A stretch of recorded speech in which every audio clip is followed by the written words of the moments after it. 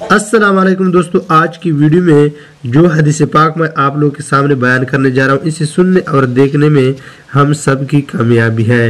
नहमद रसूल करीम। अम्माबाद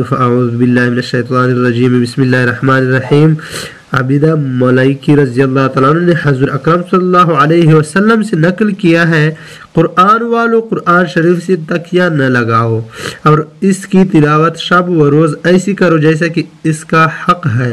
कलाम पाक की इशात करो और इसको अच्छी आवाज़ से पढ़ो और इसके मानी में तदब्बर करो ताकि तुम फलाह को पहुँचो। और इसका बदला दुनिया में तलब न करो कि आखिरत में इसके लिए बड़ा अजर व बदला है।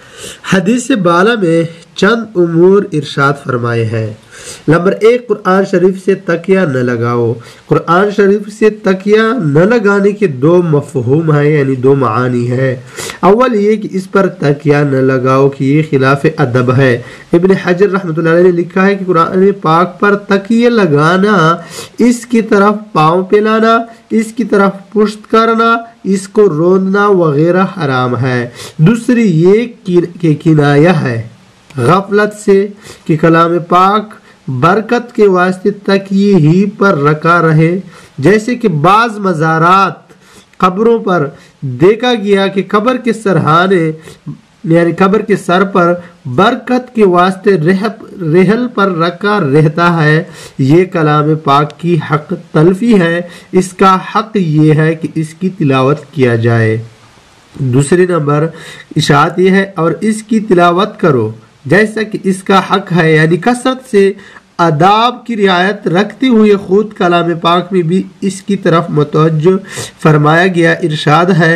अल्लाजीन आतना किताबा यतलून हक तिलावती जिन लोगों को हमने किताब दी है वो इसकी तिलावत करते हैं जैसे कि इसकी तिलावत का हक है यानी जिस इज़्ज़त से बादशाह का फरमान और जिस शौक़ से महबूब का कलाम पढ़ा जाता है इसी तरह पढ़ना चाहिए और इसकी इशात करो यानी तकरीर से तहरीर से तरगीब से अमली शिरकत से जिस तरह हो सके इसकी इशात जितनी हो सके करो नबी करीम सल्लल्लाहु अलैहि वसल्लम कलाम पाक की इशात और इसके पिलाने का हुक्म फरमाते हैं, लेकिन हमारे रोशन दिमाग इसके पढ़ने को फजूल बतलाते हैं। और साथ ही हब रसूल और हब इस्लाम के लंबे चौड़े दावे भी हाथ से नहीं जाते।